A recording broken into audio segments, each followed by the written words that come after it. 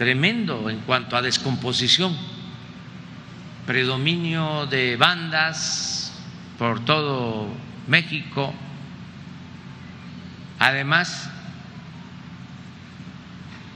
mucha impunidad. No voy a dejar de señalar, aunque se molesten nuestros adversarios, que durante el gobierno de Calderón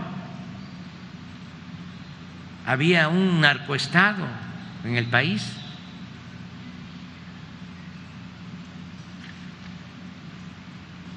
En todo el país. Hacer cambiar a los dueños de las empresas de comunicación está muy difícil, porque son intereses.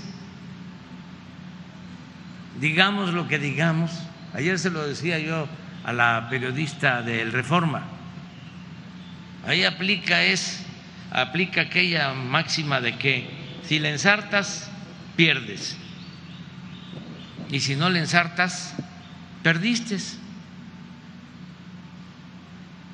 todo lo que digamos se usa en nuestra contra.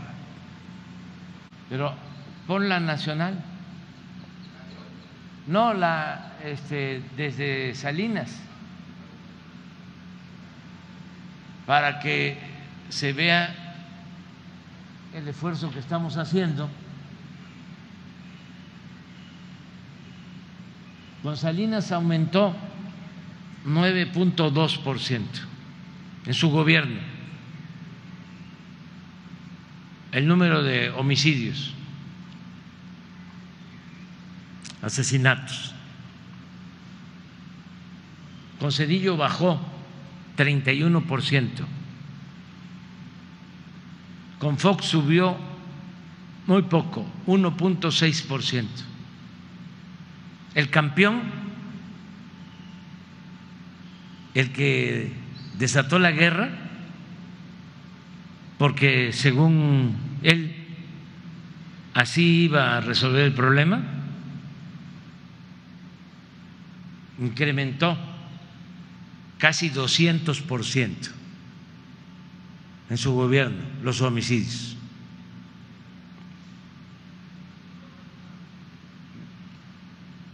El gobierno de Peña Nieto, 59% de incremento. Y nos dejaron arriba. El 18, 36 mil 600 asesinatos al año. Y nos costó, primero, contener, que no siguiera dos años. Afortunadamente ya el tercero empezó a bajar poquito y ya en el 22 acaba de dar a conocer el INEGI la información, una disminución solo en el 22 del 21 al 22 del 10%. Y ahora, de acuerdo a nuestra proyección, 17% menos. En todo lo demás, una disminución considerable. Secuestro, 70% menos robo de vehículos 50% menos en general, pero este es el delito que expresa con más claridad la realidad, porque aquí no hay cifra negra. Entonces así vamos y el compromiso es de seguir trabajando todos los días para que no se asesine a nadie en el país.